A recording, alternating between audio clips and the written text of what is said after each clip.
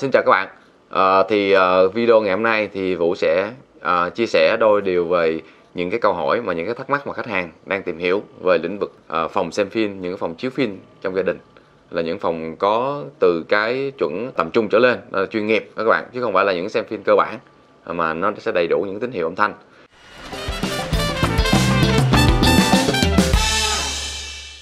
À, thì cái video này thì Vũ sẽ trả lời một cái câu hỏi mà khách hàng thường hay hỏi nhất đó chính là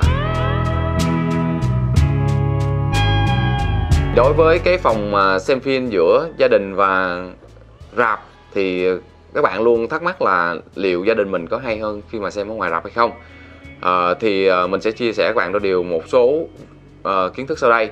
Thì uh, về xem phim chiếu rạp á và gia đình thì cái sự khác biệt đầu tiên á là Vũ sẽ khẳng định cho các bạn là khi mà chúng ta xem phim một phòng gia đình uh, nó sẽ hay hơn rất nhiều so với chúng ta xem phim rạp. À, và tại sao? Thứ nhất á, là về góc độ về cái không gian. Thì không gian các bạn thấy ở trên uh, rạp ờ, những rạp chiếu thì nó rất là to và nó rất là nhiều uh, người trong đó và cái vị trí chúng ta không được lựa chọn. Còn phòng xem phim gia đình thì chúng ta sẽ được có sự lựa chọn về cái vị trí và chúng ta có thể điểm được cái vị trí mà chúng ta mong muốn là âm thanh hay nhất trong cái bộ phim đó à, thường thường á nếu mà trong rạp thì chúng ta may mắn chúng ta sẽ ngồi ở giữa rạp và ở ngay giữa tim là tỷ lệ là tỷ đội uh, chia đôi với nhau là chiều ngang cho đến uh, chiều dài. Thì chúng ta ở ngay tim thì những cái hiệu ứng âm thanh nó sẽ ra rất là đều và độ lớn nó sẽ như nhau và cái trải nghiệm của bạn rất là đã. Nhưng mà ở gia đình thì các bạn sẽ uh, trải nghiệm với vị trí tốt hơn và căn phòng diện tích nó sẽ vừa và nó hẹp hơn. Nên cái hiệu ứng âm thanh cũng như là giọng nói những cái hiệu ứng của bộ phim nó sẽ cho mọi người cái trải nghiệm tốt hơn và cái tiếng súp cho đến những cái hiệu ứng xe chạy hay là pháo hay là những tiếng trời mưa nó sẽ nghe rõ tách bạch hơn. Và một điều nữa là hiện nay ở những cái rạp phim mà có định dạng Dolby Atmos thì nó đang còn ít nha bạn. Ít nha chứ mình không nói là không có vẫn có. Nhưng mà đa phần là những hệ thống à, vệ tinh là nhiều. Còn hệ thống mà trên trần á, thì hiện tại đang à, rất là ít ở trên thị trường hiện nay với những cái rạp phim hiện nay. Mà bây giờ gia đình đó chúng ta thì rất là nhiều khách hàng có điều kiện để chúng ta lắp được cái Atmos Atmos là một cái hiệu ứng âm thanh ở trên đầu. Nó sẽ ờ, xử lý những cái tiếng tín hiệu à, ví dụ như máy bay hay là xe chạy hay là hạt mưa hay là gió hay là lá rơi hay là súng đạn mà bay xẹt qua đầu á. Thì khi mà chúng ta xem phim chúng ta cảm giác là mình rất là thật và chúng ta đang ở trong một cái cái cái phim trường ở trong một khung cảnh mà bộ phim nó một cái nhân vật đặt trong cái bộ phim đó. Đó là cái trải nghiệm của mọi người khi mà cảm nhận khi mà trải nghiệm về phim. À, đó là như vậy à, còn về phòng phim á à, sự khác biệt nữa đó chính là về cái cảm giác. Khi mà chúng ta coi á, ở phòng phim trong rạp á thì các bạn coi đi với bạn bè thì nó sẽ vui. À, nó sẽ hào hứng hơn nó đông người thì mọi người sẽ cảm thấy nó vui, à, vui hơn và nó hào hứng hơn. Còn khi mà xem ở trong gia đình á thì chúng ta sẽ xem với một là gia đình hai là bạn bè hoặc là chúng ta chỉ xem một mình thôi. Đối với những khách hàng mà chúng ta đam mê về phim thì ở gia đình thì chúng ta sẽ mang được tính chất là trải nghiệm. Trải nghiệm và là về hiệu ứng về chất lượng âm thanh về cái bộ phim đó như thế nào và cái nhân vật nó như thế nào nó thật đến cỡ nào thì ở gia đình mang tính chất là trải nghiệm nhiều hơn. Nên về so sánh về cái phòng phim giữa gia đình về mình đang nói về cái việc mà thiết bị âm thanh thì gia đình hiện tại hay hơn so với ở rạp. Đó, đó là như vậy.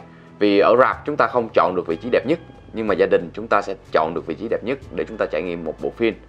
À, đó là sự khác biệt về phòng phim gia đình à, còn về rạp và về thiết bị trong phòng phim á, hiện nay á, thì nó rất là dễ nó không có khó như ngày xưa nữa các bạn. À, thì về phòng phim gia đình nó bây giờ chúng ta chỉ cực về vấn đề là đi dây thôi. Vấn đề đi dây thôi. Còn thiết bị mà những cái bộ xem phim chúng ta có những bộ xem phim mà nhỏ nè hoặc là những bộ xem phim ờ, sau ba nè thì tùy theo cái kinh tế của mình.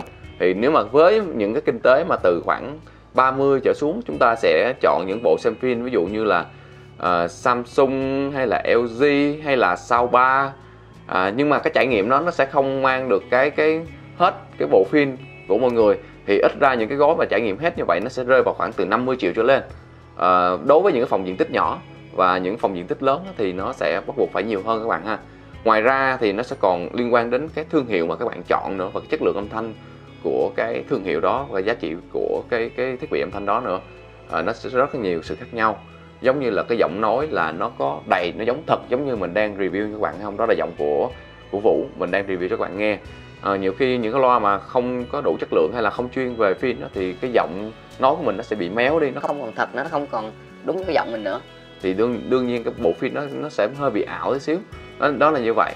Đó thì ok thì cái video ngày hôm nay mình chia sẻ và phân tích các bạn và mình khẳng định các bạn là về cái ờ, sự khác biệt giữa là phòng phim gia đình và phòng phim khi mà chúng ta xem ở rạp thì nó làm hay hơn. Thì cái kết quả mình đưa ra thì gia đình sẽ hay hơn. Vì gia đình mình chốt lại thứ nhất là mình chọn được vị trí ngồi hợp lý. Thứ hai là về thiết bị mình bố cục thiết bị theo cái vị trí mong muốn và mình trải nghiệm những cái hiệu ứng âm thanh đẹp nhất có thể trong cái phòng phim gia đình. Đây là mình chốt lại cơ bản các bạn như vậy. À, à, nếu các bạn thấy cái video này chia sẻ và mình phân tích các bạn nếu các bạn thấy hay à, thì các bạn hãy bấm like và subscribe channel và hãy đón xem cái tập kế tiếp mình sẽ chia sẻ các bạn từng phần để cho những bạn và những khách hàng mà chúng ta đang trải nghiệm và đang muốn tạo cho mình một cái hệ thống xem phim tại gia. Thì uh, các bạn có thể hiểu hơn và có nhiều kiến thức để chúng ta chọn và chúng ta định hình ra được và chúng ta nên chọn những bộ phim nào những cái hệ thống thiết bị âm thanh nào phù hợp với các bạn và ngôi nhà các bạn.